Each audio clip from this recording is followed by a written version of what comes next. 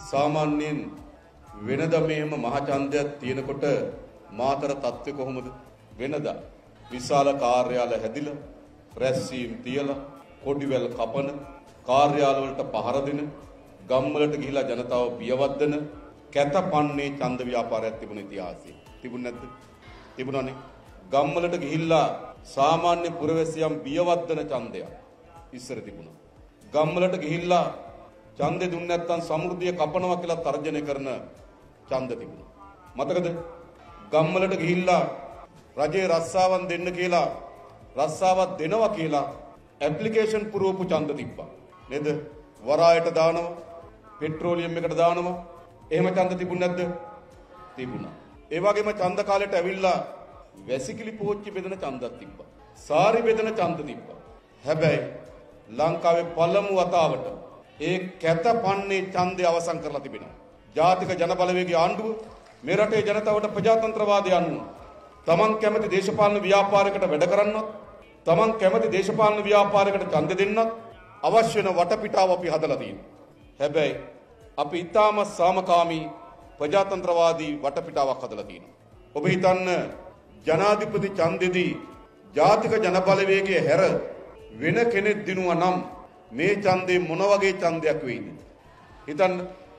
ඒ කියන්නේ බඩු බෙදන ඡන්ද ව්‍යාපාර වලට පොලිසිය උපයෝගී කරගන්න, ඡන්ද ව්‍යාපාර වලට රාජ්‍ය සේවය උපයෝගී කරගන්න, ඡන්ද ව්‍යාපාර සඳහා සල්ලි බෙදන, ඡන්ද ව්‍යාපාර වලට මහජනයාගේ ධනෙ නාස්ති කරන, රාජ්‍ය මාධ්‍ය උපයෝගී කරගන්න මේ වගේ ඡන්ද ව්‍යාපාරයක් බවට පත් වෙනවා.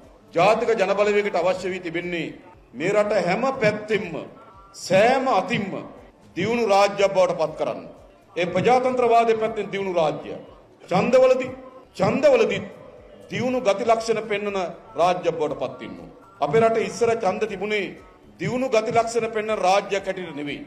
ඉස්සර ඡන්ද තිබුණ ගෝත්‍රික ගති ලක්ෂණ. පුරවැසියන් බියවත් වෙන. පුරවැසියන්ට රාජ්‍ය මාධ්‍ය උපයෝගී කරගෙන මුල සුද්ධ කරන. පුරවැසියන්ට රාජ්‍ය බලය උපයෝග කරගෙන තර්ජනය කරන. පුරවැසියන්ට අල්ලස් කොමිස් ලබා දෙමින් මතය විකෘති කරන ඡන්ද ඒවා අයිති වෙන්නේ ගෝත්‍රික යුගයට. අද ලංකාව මැතිවරණයක් පවත්වනවා සාධාරණ ප්‍රජාතන්ත්‍රවාදී සාමකාමී ඡන්දයක් ඒව තමයි අපි ජනාධිපතිවරණය ලබාගත්තු ජයග්‍රහණ. ආයේ මේ රටේ කාටවත් මේ රටේ නැවත මේ රටේ ජනතාව චණ්ඩිකම් වලින් ඡන්ද කරන්න ඉඩ දෙනවද? නෑ. මේ මාතර නම ගියපු අපරාධකරුවන් පාර්ලිමේන්තු නියෝජනය කරා. නම ගියපු ඡණ්ඩීන් පාර්ලිමේන්තු නියෝජනය කරා. මේ මාතර ජනතාව බියපත් කරලා තර්ජනයට ලක් කරලා හෙම්බත් කරලා පාලනය කරපු යුගයන් තිබුණා. මතක තියාගන්න අය එවැනි තත්ත්වයක් මාතර නෙවෙයි මේ ලංකාවේ කොතනකවත් ඡණ්ඩින්ට එහෙම දේශපාලනේ නැහැ. පුරවැසියන් බිය කරන එහෙම දේශපාලනයක් නැහැ. පුරවැසියන්ට තර්ජනය කරන එහෙම දේශපාලනයක් නැහැ. මේ රටේ තියෙන ප්‍රජාතන්ත්‍රවාදී රාජ්‍යයක් අපි ප්‍රජාතන්ත්‍රවාදී ශක්තිමත් කරලා තිබෙනවා.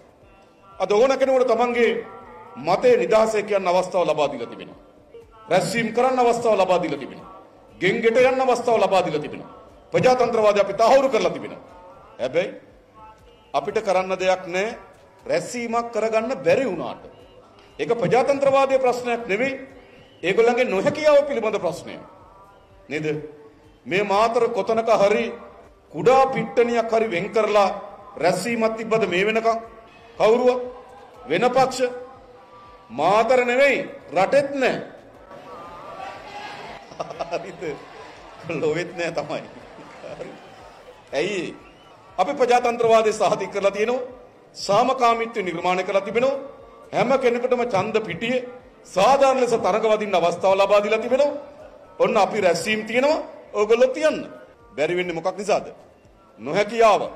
ඒ නිසා නිකන් ගත්තොත් සමහර අය කියනවා සහෝදරය මේ ඡන්දේ ගෝ එකක් නෑනේ නිකන්. නේද? නෑ. අපි ඡන්ද ව්‍යාපාරය කරන්නේ අනික දිහා බලාගෙන නෙවෙයි. අනිකා කොච්චර වැඩ කරනවද? අනිකා රැස්වීම කරනවද? ඒක යාගේ වැඩක්. අපේ වැඩේ මොකද්ද? ජනාධිපතිවරණදී ලබාගත් ජයග්‍රහණී ශක්තිමත්ව තහවුරු කිරීම සඳහා නොවැම්බර් මාසේ 14 වෙනිදා මාලිමාවෙන් මේ පාර්ලිමේන්තුව පුරවන්න ඒක තමයි අපේ වැඩේ. අනිත් කට්ටිය රැස්වීම් තියනවද? කැන්නුසි යනවද? නේද? ගෙන්ගෙට යනවද? කට්ටිය මුණ ගැහෙනවද? අපිට වැඩක් නැහැ. ඒගොල්ලොන්ට ඒ වෙලා තියෙන්නේ නොහැකියාව. අපි අද මොකද කළා තියෙන්නේ ජයග්‍රහයි තැනක ඉන්නවා. මොකද්ද නොවැම්බර් මාසේ 14 වෙනිදා ප්‍රතිඵලය? මේ මාතර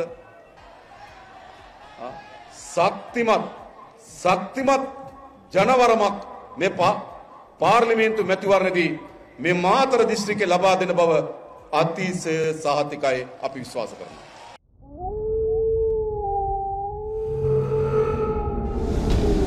නිවස් රෙපෝට වාරණයෙන් තොර අපක්ෂපාති වාර්තාකරණය